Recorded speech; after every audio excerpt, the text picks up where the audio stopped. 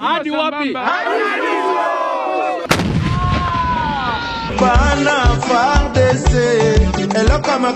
Renforcé, aguerri et déterminé, le FRDC plus que jamais porté au front pour la défense et la reconquête totale de l'intégrité territoriale. Patriotes engagés, nos vaillants soldats font désormais conjuguer les ADEF et autres milices de l'Est au passé. Demain, un air nouvelle de paix va souffler dans le Grand Nord. Allez-y, les FARDC. Nous allons nous battre jusqu'au dernier sacrifice, donc le sacrifice suprême, de manière à restaurer la paix et la sécurité dans ce territoire.